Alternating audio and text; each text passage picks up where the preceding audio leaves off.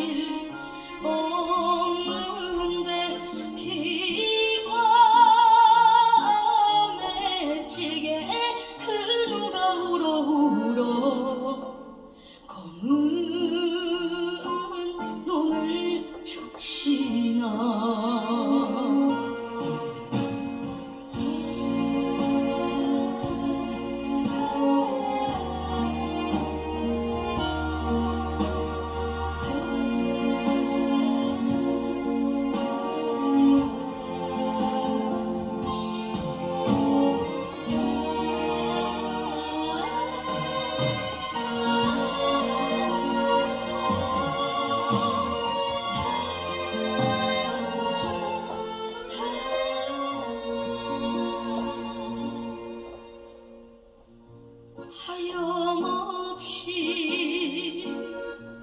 흘러내리는